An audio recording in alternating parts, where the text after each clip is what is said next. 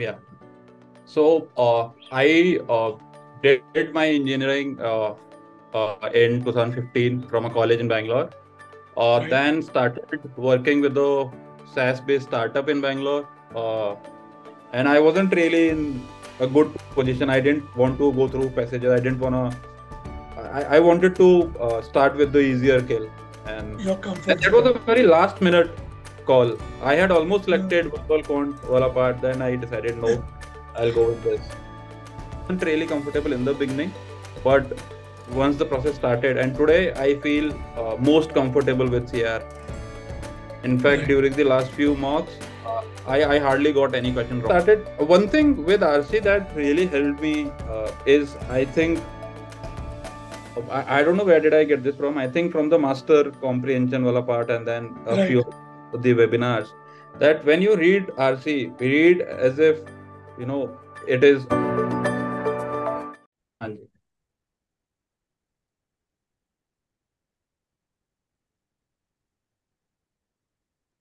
I think it's happening. Okay, cool. A warm welcome to everyone watching this video. We are here with another successful student. His name is Lalit, and Lalit has been a phenomenal student throughout his journey. He's a wonderful professional as well, and now he's finally achieved his dream score of a 720, and and he is absolutely ecstatic about it. And I once again welcome each one of you warmly to this success interview where we will dive into Lalit's GMAT journey. We'll also understand certain decisions that worked for him and certain that didn't. We'll also speak about a few downs and also a lot of ups.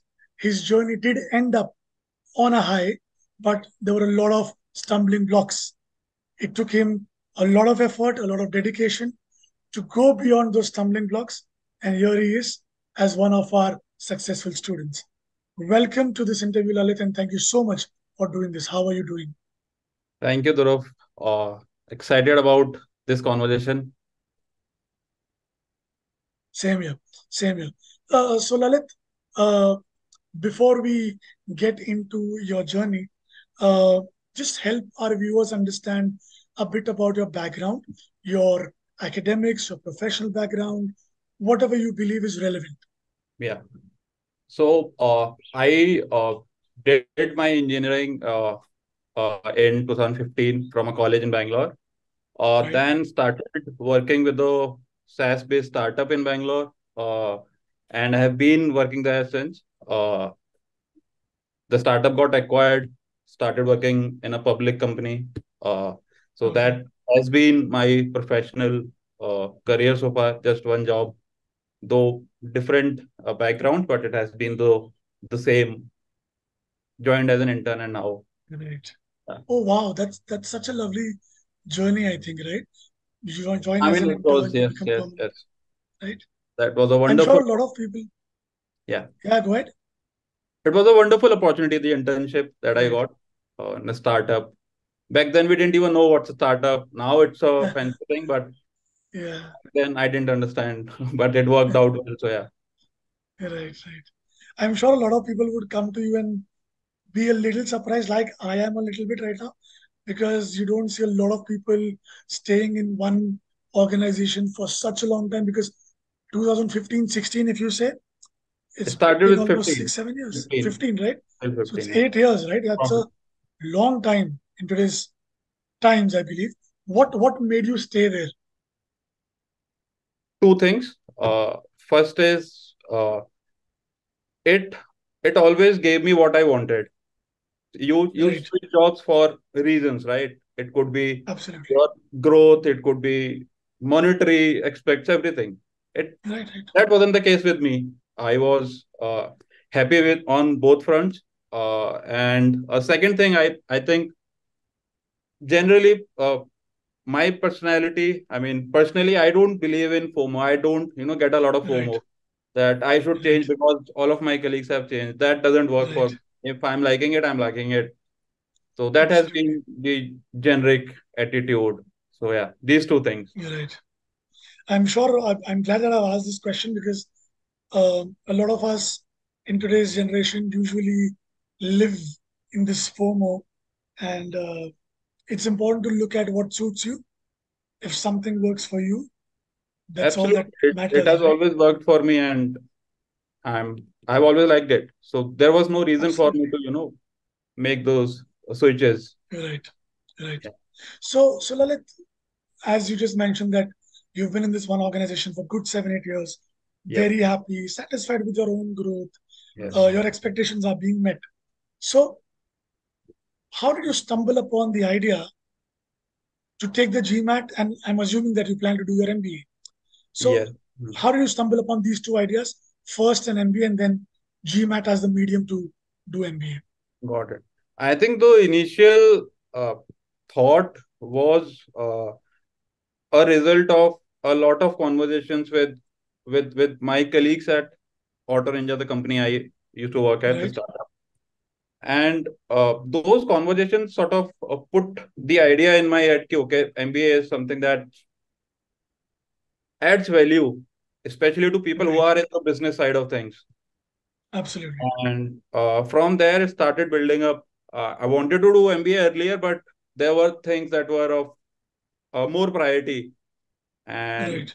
I, uh, once I was, you know, sort of free with uh, other things, I decided that I this is the time I should go for MBA. So mm-hmm. that that was about it. The initial idea was from the conversations with founders, seniors in, in the right. company, and I got to know how an MBA adds a lot of uh, value, a lot of perspective. Right. Uh, you see things differently. Sure, sure, makes sense. And and uh, there are different ways of uh, getting into an MBA institute. You have different types of tests. Why GMAT? What what made you feel that this was something that you could do well on? So uh, I don't know, uh, if this qualifies as a uh, as a as a good enough reason, but uh, sure. I uh, so this is my first competitive exam that I wrote. Before this, okay. I had uh, you know not done anything. I, I I didn't target something particularly. Right. Uh, maybe because of uh, immaturity or I wasn't really active. You know, I really didn't have didn't have a goal uh, to say. Mm, maybe that. Yeah. Yeah. But once you start working, you meet a lot of people. You also become a become thoda smarter, right? You start right. thinking about things. So I sort of decided that if I go for an MBA, I would want to, you know, go through the right channel. I would hmm. for a competitive exam. I would try to crack it, right. and I'll try the best. I'll I'll try to get into the best I can. So that was thought, and that's how the GMAT uh, thing came up. Sure, sure. Uh, so now let us just uh, decode your pre-EGMAT journey, right? Because I am aware about your EGMAT journey because yeah. I was there with you right through. Uh, of course, we'll discuss about that because the people don't know about it. But the pre-EGMAT journey is also very important because it is important for the uh, the beginners, right? Okay, to understand how to choose the right course. Uh, so for you, I'm sure you had certain expectations. Probably you saw that EGMAT ticked all those boxes, and that's how you ended up getting uh, you know yourselves enrolled with us. So, what did you do uh, at your end to research about the GMAT exam? If you were preparing on your own before joining EGMAT, and I'm sure you would have researched a lot about different test prep companies. And how did you end up with EGMAT? Just take us through that little journey. Yeah. So I think the initial idea uh, was given by my friends who had done this and or, right. or who are in the process of uh, getting the GMAT done. Right. Uh, before before actually getting the course, I I started uh, browsing internet and uh, right. figuring out uh, came across uh, GMAT Club and right. and uh, other online resources. I also ordered uh, the official books books you get right? Uh, mm-hmm. uh, and uh, started uh, preparing on my own. Uh, but because because I, uh, I i hadn't done anything of the sort earlier I, I couldn't really connect with uh, with with a lot of things a lot of material that was available on internet. And i realized that okay i need a structured process because i'm new to this. Uh, and that's where uh, I started uh, talking to my friends around about uh, the different options available, and Right. the uh, most uh, frequent suggestion was about EGMAT. Okay. So so that's where that's where I decided. Uh, that's when I decided that I'll I'll go with EGMAT. So so so uh, mostly uh, recommended by friends who had done this. That's how Okay. I signed up with EGMAT. Right. Were there certain things that you were looking for specifically that you that you then later realized that you could get those things at EGMAT? Uh, actually, I'm telling you, I, I was I, I was new to the entire process, so I didn't have a lot of you know uh, Ah, pre-structured okay. thoughts in my head. Right. So I was open to uh, Hmm. everything. I I, I I didn't have a structure in place. Ki, okay, I want this and that. I, I was open because I had no idea. So. I was blank before I started preparing. Yeah. Right. So sometimes being a clean slate always helps. Yes. Yes. I I helped. Yeah. Yeah. That's great. That's great. Uh, so when you're preparing on your own also, what was it that did not work that made you think that okay, it's better that I get some help? Uh, I I couldn't. Uh, so I started with CR. Uh, Okay. and I couldn't really, you know, connect with a lot of things. After every uh, uh, question, I would question, yeah, this doesn't make sense, or maybe I'm not getting it. I would mark, uh, let's say A, and it was the least marked option, Right. things like that. So I couldn't really connect with anything. I, I, uh, and at that point, I realized, ki, okay, I'm not good at this right now, so Right. I should, I, I need help. So that's where a lot of Okay. things changed. Yeah. Right. So, uh, when you when you got enrolled with eGMAT, Hmm. uh, you were at a 670 overall GMAT score, your starting ability. Uh, this and, and and after that, I believe uh, to break this up, your quant was always good because you come from an engineering background. You were at a Q49, but your verbal was something that needed a lot of help. You were starting at a V32, Yep. right? You ended And up scoring a that V40. are not so confident V32. It just happened. Okay. Uh, So, so you believe that probably your starting ability in verbal was maybe a couple of points yes, lower, yes, probably V30, yes. maybe Uh, true, true ability was true ability. two points lower than. Okay, so let's consider this to be a V30, Yeah. right? And from a V30 to a V40, a massive 10 point improvement. This is a massive feat. This was a journey in itself. So, of course, we at EGMAT recommend certain things, a certain way to follow the process. What process did you follow? How did you start your verbal journey? Let's speak about sentence correction and master comprehension. With with EGMAT, right? Once Yeah, with with EG. kind of for EGMAT. Uh, I think I mean I'll I'll first uh speak uh overall uh overall yeah, work. please. Then we'll go into the Yeah, yeah, yeah. details. Sure. Overall, uh, one thing that I really like and and generally I like is uh developing that understanding, you know, that uh the concept, you should know the concept, you should know the details. The question will come later, figuring out things will come later, but you should know what is the uh how how how do I put it? Uh, what is the crux? What are you going to do? Yeah, what what are you going to do? Why why why why why do they test you for CR? What is a CR? So Right. that uh, that approach uh, was the uh, first component that excited me. Okay.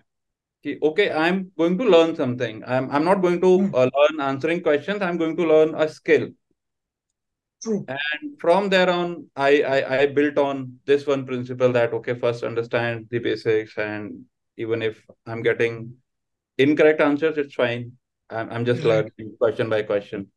So so Hmm. that has been the overall uh, overall uh, sort of principle around the verbal part. Uh, now uh, we we can go. Uh, so this this was the overall uh, Right. approach. Yeah.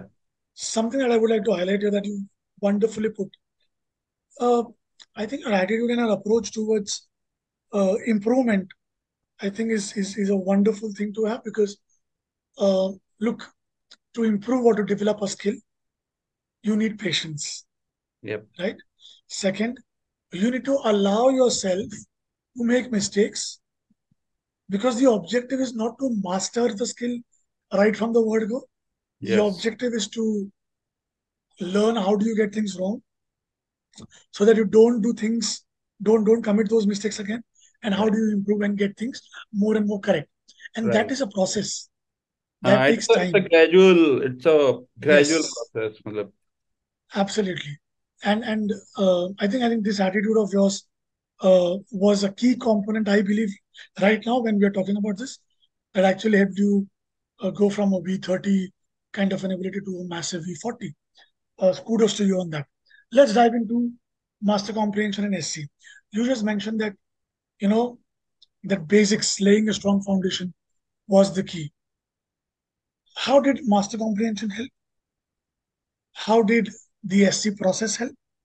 And apart from the SC process that EGMAT recommends, the meaning-based approach, I'm sure there must be something else that you would have realized at your own end that helped you get even better at SC. Three questions, I'm sorry, but No these are all connected. Yeah. Uh, with with I'll start with the SC part. Go Uh, ahead. I think with SC, I did not do anything differently. It was only Okay, the meaning-based approach. For the for the first, if I could say, for the first half of the preparation, I wasn't really uh, I though I really liked the meaning-based approach, I wasn't really able to apply it uh, while answering questions. Hmm. And once I realized, ki, okay, this is where I am going wrong. Meaning-based Right. approach was the only thing that I did. Hmm. So if, with with with SC, it was nothing else, just just the meaning-based approach. Obviously, the the nuances of the grammar, the, the certain there are certain rules. Uh, Right. In addition to those rules, it was just the meaning-based approach. Just understand the uh, the statement or the Hmm. sentence or the uh, question well, and then moving on to the answers has Right. has really worked for me. Right. So, So, huh, go ahead. You were nee, saying nee, something. nee. so th- this was this was about uh, the SC. Okay. Were you, were you always comfortable with English grammar since your school days, or you had developed When it gradually?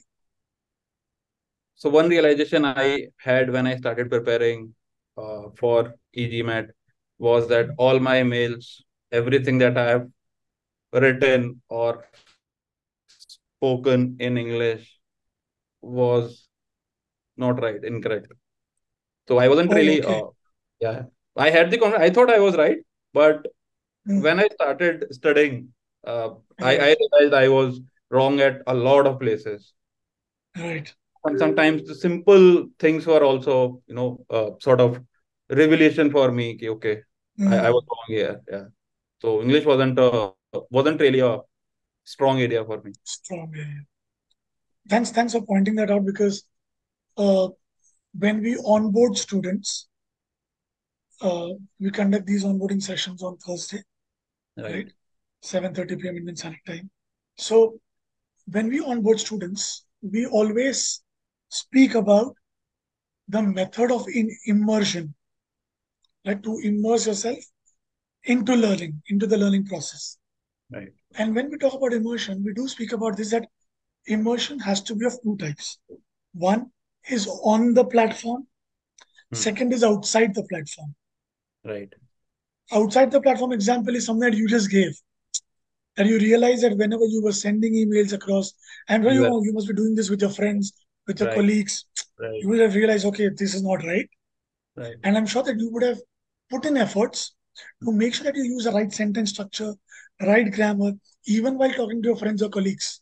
Exactly. This is called the method of the process of immersion Right. outside the platform, which is as important as it is to be immersed in the learning on the platform. So thank you for, for highlighting that.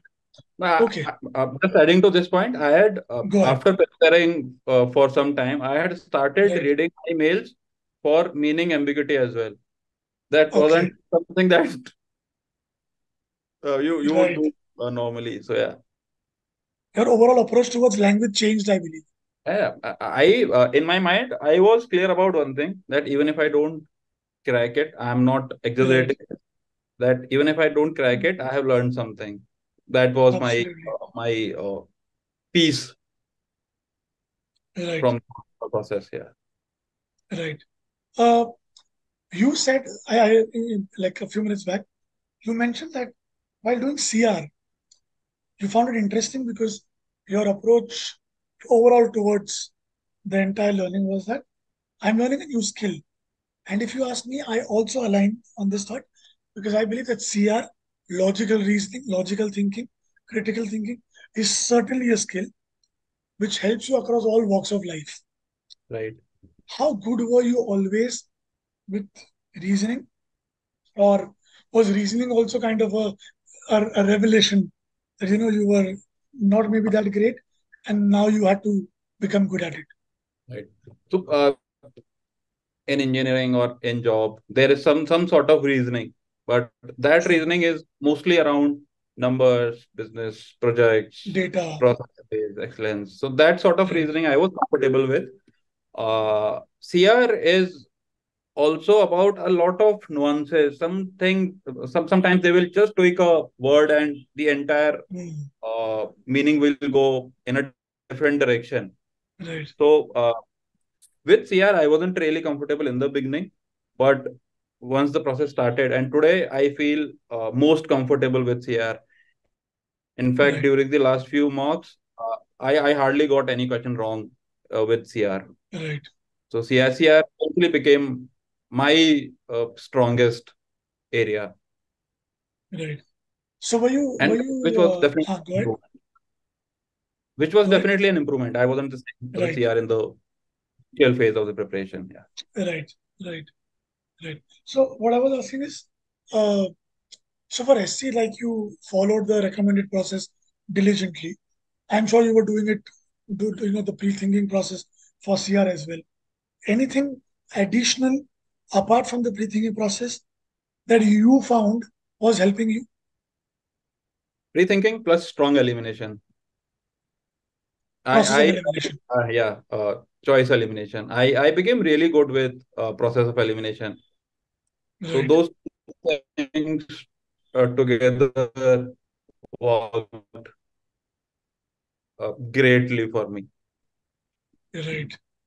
Okay, can you just elaborate a bit on process of elimination so that the would, students watching get some something idea? if I, I, I would want to show you something if I find it. Just give me a please. minute. Sure, please. please.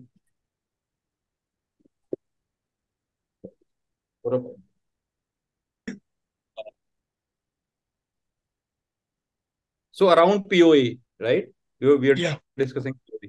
So I I, yeah. I I I started this approach where I would just make a grid A B C D E and then questions, and uh, the the writing on that pad correct wrong wrong question mark that I'm not sure about this option right. eliminating uh, the easiest ones putting right. a question mark against the ones where I'm a little little uh, dicey yeah, dicey and then eventually it it, it sort of just became uh, a really good process for me. And in fact, this right. is uh, one thing that I did throughout and I couldn't do in the real exam. Is it? yeah Why? Very silly, very silly reason. Uh, I, I don't know if I should even say that, but go ahead. I'll I'll I'll try. Uh, so you get a you get a uh, a pad, a, a laminated pad, and then you get a pen. So the the uh, admin there, he asked me that I shouldn't uh, keep the pen open for long. Okay. I should always keep it uh, capped, and right. I, I didn't do that. And when my verbal started, so I would always make that grid and then go on solving. Right. And that pen stopped working, and I couldn't make that grid. The oh. first minute, just uh, uh, went through this. I'm trying, but the pen wasn't just working, and I just couldn't follow that. And that's where I think uh, my first attempt, I couldn't uh, really uh, do justice to okay. my approach, the approach that I had been. This was the first attempt when this. This happened. was the 670 all attempt. Okay. Yeah. So I I was These small things. uh, it was a very small thing. No, people wouldn't even believe, but huh, it, it happened. Right. Right. The, the whole idea of this interview is to give out whatever you believe worked for you and whatever you believe went wrong. Because right. these are small things. And I'm very sure now a few viewers, few students will make sure that when they go to their exam center, they keep the pen capped. Yeah. Right. So there are small things that matter. It, and, it, uh, and it was a very important part of my own process, which right. went wrong. Okay. Fine. So so you weren't able to make the grid at all. Okay, okay I have one very important question. Yeah. How much time would it take for you to make that grid for every question? Every no, CR I'll, question? I'll make it in one go. I'll make Four, that seconds. Uh, no, I, I don't start before I make that grid. I make that grid, then I start.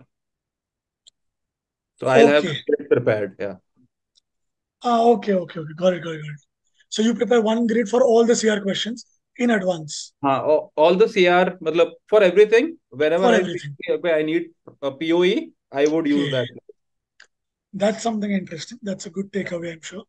Okay. So CR ended up becoming your most comfortable zone, your I was, battlefield. I am uh, today. I am extremely comfortable with CR. Wow, good to know that. Uh, was reading always a hobby, Lalit? Never. Never. How did RC excellence happen then?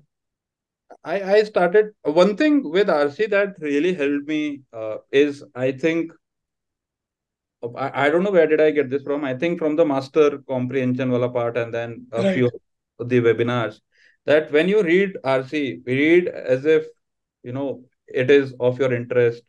Immerse yourself into the passage.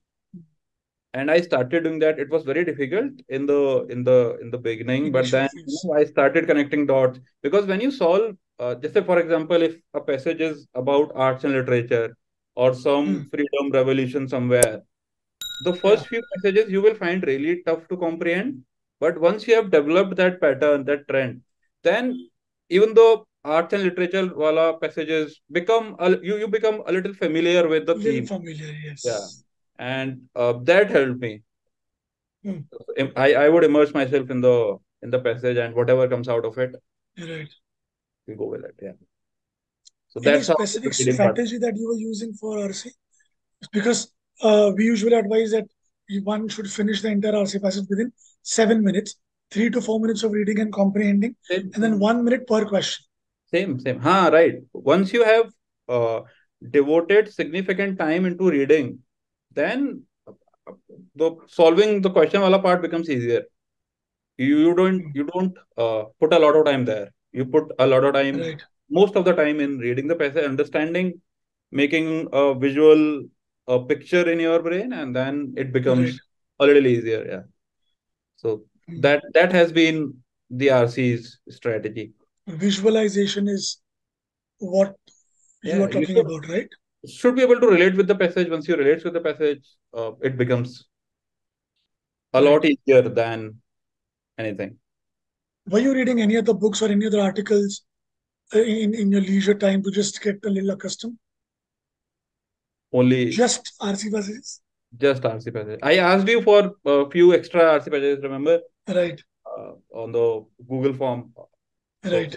That that has been the only source. I sold a couple of RCs. I think from GMAT Club. Uh, there okay. is a, the official ones. Once. I had exhausted all the eGMAT RCs, I started uh, figuring out official RCs from GMAT Club. So that that that has been the only source. Right. So uh, this V32 or V40, I'm sure seems like an achievement. You would be pretty proud of yourself. Yeah, yeah. When I was making that, uh, what do you call it, error log. Right. I, I named it V40 is the target, and it happened. Oh, did you? Yeah, I I have it. I wow. But, huh. Can you can you elaborate a bit more about error log because you just mentioned it? how did error log help you and how anything that you did to make filling it easier my error log it, it wasn't just the error log it was uh, a planner plus error log, uh, where I would only uh, note points uh, where I was wrong. Let's say I did did a mistake, got a got an idiom wrong, or uh, maybe I couldn't really see the parallel structure. Right. I couldn't realize this was a problem of parallelism. So those points I would uh, uh, note on a sheet, and then Right. uh, I, I kept revising uh, uh, that uh, error log. Right. I, I just didn't Right. want to repeat the mistakes that were committed once. So so that Fair was enough. I think I think error log saves a lot of time also during the revision yeah yeah it, it it it becomes the only source of revision. because it's not possible to go through every question once again, again and again. Right. It's always better to have the error log and Uh, especially during the last few days. Especially during the last few days, Yes. time is of essence. Hmm, true. Right. Makes sense. Right. Uh, so V30, V40, superb journey. Let's speak about your area of strength. Engineers, all my engineering students are usually very confident about their quant abilities. So were you. And Lalit, you were doing really well. You did go from a Q49 to a Q51 on the mocks. Yeah. So I'm sure there would be a bit of, uh, you know, that, you know, this is my strength. I don't need to go through everything, but you still did. So any reasons for that?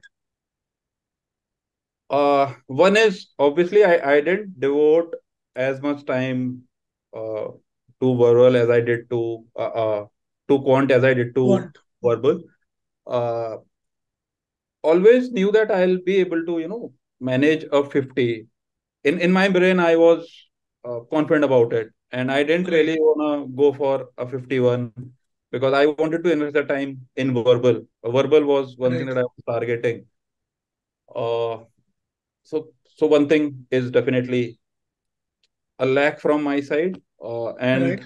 second thing that went wrong uh, in the uh, 720 wala attempt uh, was that that that day I wasn't uh, in in my best uh, uh, position health wise. I I had a Right. super headache the entire morning. Uh, in fact, till the time I was uh, till the time I was going to start the uh, uh, uh, my uh, The 720 test. wala attempt, I wasn't really sure about it. I, I was of the opinion that maybe I should just reschedule it, reschedule it, or should postpone it. I wasn't really feeling well. Uh, generally, I would start with verbal and then uh, would go for uh, quant. But that day, because I was having a headache, I realized that I will not be able to go through passages, and Hmm. you know I would not be able to follow my process. And quant is straightforward. If you get it, you get it. If you don't get it, you don't get it. So I started with quant. So that could be a minor reason as well. I wasn't in, in my best state of mind. So maybe I uh, I, I couldn't uh, aggressively do it. I, Hmm. I let go a few questions where I wasn't really feeling comfortable. Hmm. So yeah, but when I look Right. look back at it now, I, I think I should have uh, been more uh, careful about quant. Yeah, I should because have uh, taken it lightly. because a Q50 was on the cards, you were doing it regularly. Yeah, Anyway, we'll come to the 720 attempt, but before that came a huge stumbling block. So this for all the viewers there. So Lalit was Lalit uh, was doing after he finished verbal. I got him enrolled into the last mile push because uh, we had we had discussed about quant being his strength. So I assume that he is now in the last mile, even though he had the entire quant course to finish. But he was doing it fabulously, smoothly. The cementing process for verbal was smooth, for quant was smooth. We entered the test readiness phase. Even that was like pushed aside comfortably by Lalit. We entered the mock stage. Lalit was scoring 730s and 750s for fun, right? And the both of us were like so confident when he was going for the test. I was like, this guy is going to, you know, crack the GMAT apart and he's going to score a 750 minimum and probably a 760, 770. When he wrote back to me, he wrote back to me saying that he scored a 670. Both of us in utter disbelief, both of us in, you know, a, a state of shock. Lalit, what went wrong? Because from a 750 to a 670. This was where you started from. What Yes. happened that things didn't go right? I think two things. Uh, first is that it was uh, my first ever attempt for a competitive exam. I I did not know before that attempt. Uh, I didn't know what stress looks like, what the real time pressure. I, I I wasn't aware of these things because I never uh, wrote any exam. Everything Right. just. I mean, I I I don't even know why did I uh, go for those exams. IIT, Right. Triple E. I, I don't even know. A. I just went there, spent three hours, and you know, uh, came out. So this was a very uh, this was the first experience. I did not know that how these things also matter. How Hmm. you maintain your calm, composure. How do you follow what you have been preparing for in those three hours? Yes. All of these things were extremely new to me, and and, and as I told you, I couldn't really follow my approach. Whatever I had been doing for the three months of preparation, I I, I Hmm. did follow uh, even a single uh, takeaway from the preparation. Everything Even for quant? blank. Three months of prep- whatever I had learned, whatever my even for quant? I think so. I Quantka, I, I don't remember because I studied with verbal. Okay. By the time verbal finished, I knew I I knew that uh, this is Yeah, a lost is this is I finished, yeah, I finished my verbal 15 minutes earlier in in in 45 minutes. And at that moment, I knew that okay, gone. And and the last question was a very simple question. The, maybe uh, it was on the lines. The cat the cat is moving. So, something. Well, It, it was a very simple is are wala question. So I knew okay, okay, this is a lost opportunity. Because you figured out that it was an easy question, and if you get easy and in the last block, yeah, and I'm finishing in 45 minutes. So I have definitely messed up something uh, in between. So that's where it went wrong. and also the pen incident that you just mentioned. Yeah, yeah. Uh, that's what I, I couldn't really follow everything. Everything just went for a toss. It, it was a very small thing. I could have asked for a, for another pen. I could have just raised my hand and said, "Bhai, mere give me a new pen. Give me change, change my seat." I had that question actually, but I thought probably uh, that would have wasted a lot of time and would probably would have created some disturbance. it didn't even come across the idea. I, I just gave up to the incident and, and so that's why that's why I'm saying I I, I uh, was new to this world of you know taking exams Yeah. seriously. That's where uh, it went wrong. Lalit, do you believe that this incident of a 670 on the test after the highs of 750s on the mock, Yeah. do you think that this one incident actually laid the foundation for the 720 because it gave you the experience and made you mentally stronger? That's what I believe. Any uh, Because it was a very simple thing you could have done. Ask Yeah. for a pen, but maybe you were mentally so weak that it didn't strike you. right And then, and then in the 720 attempt, you changed your sequence. I don't recommend this to any student, even now. But you know what? Sometimes your instinct has to take over. You have to look at the situation at that moment and then take the decision. So, correct me if I'm wrong here, Lalit.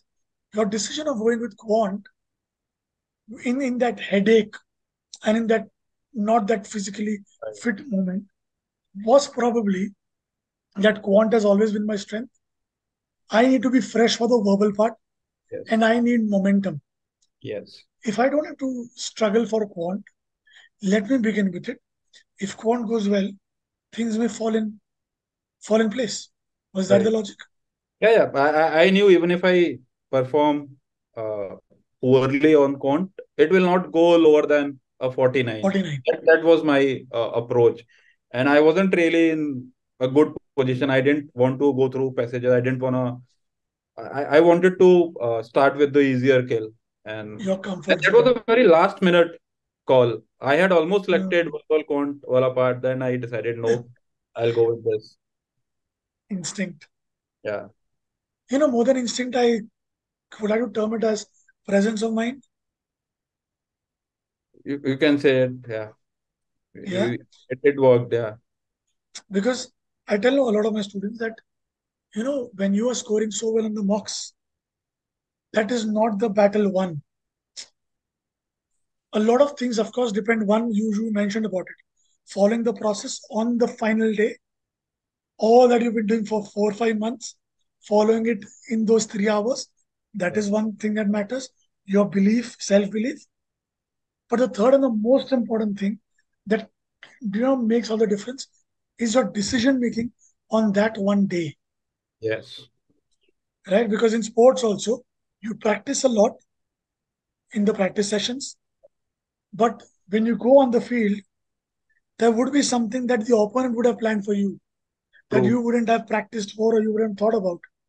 Your presence of mind at that particular moment, oh, okay, so this is out of syllabus. Let me tweak my approach a little bit. Right. That creates a that makes you a successful sportsman. And I think that's exactly what you did. So how did it feel when the 720 popped up? Uh I think I, I solved the quant part. Uh, by Right. verbal, I was feeling good. I, I, I had recovered Okay. from the headache and I was, you know, ready to uh, take on a verbal. Right.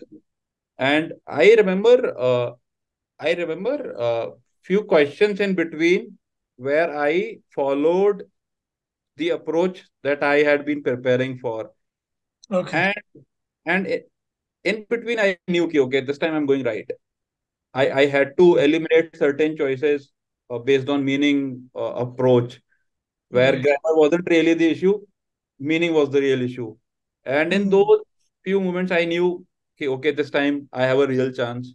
Right. I kept on solving questions, and in the in the last, I knew I'm getting you know really good questions, Hmm. and the time management was also just perfect. I I I finished you know in the the right time. I think I had only five or ten seconds left. So Right. I had started getting this idea, uh, but when the score came, I was like, okay. So I, I and I'll, I'll tell you how how did I know this? When I was doing Okay. verbal, I sort of got confident about it, and I messed up by IR and AWA because I, I couldn't control my The excitement. excitement. Uh, I just wanted to get done with.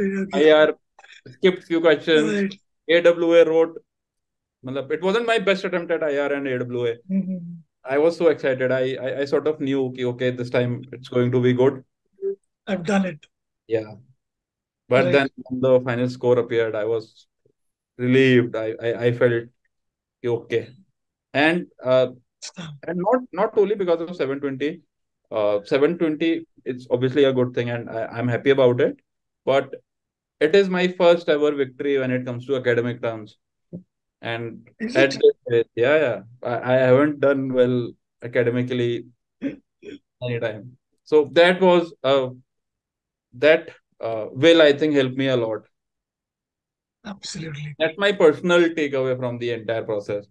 Okay, after doing so much, after you know eight years of working, I tried something and it eventually worked. You know, this is not just a takeaway for, for you, Lalit. This is a takeaway for everybody watching this part right now. Because many people believe that to ace the GMAT, you need to be intelligent and smart. Right. And once again, during the onboarding, we tell students intelligence and your smartness accounts to just 30% of what is required to ace the GMAT. The Right. other 70% is your diligence. And Lalit scored 100 on 100 when it comes to diligence. And because of that diligence, I had offered to get him enrolled into my last mile push cohort. And even over there, he was diligence, he was diligent throughout, would always do what is recommended, would always keep checking in that, you know what, this is where I'm stuck, would never take shortcuts, would take the time that is supposed to be taken. Uh, Lalit, for me, was an epitome of how a diligent student should be. And that's why I was extremely saddened when he said that he scored a 670 because he didn't deserve that. And I remember on the second attempt, when he scored a 720, he gave me a call and I felt really special. I felt that okay, probably I had played my part, because of which Lalit thought that Dhruv deserves to know that he scored a 720. So thanks for doing that, Lalit. That made me feel really special. That made me feel motivated to help no, no, I, I, I the other students as well. I think for the second attempt, though, uh, the time from first to second attempt, you have been really uh, supportive. And uh, I had all the reasons to not do this call. I could have made any excuse, anything, because I am, I, I just, you know, don't want to uh, get into the limelight and all of that. But I wanted to do this for you because you have been uh, really supportive. And so that's when I decided, no, I will take this call. I will also, you know, I'll not make any excuses because I, I, that's a natural instinct that, you know, let's just Wow. stay away. Thanks, That's man. that's really kind of you. man. That's really kind of you. You deserve all the happiness. I've seen your journey from close quarters. If somebody who deserved this more than you was you yourself.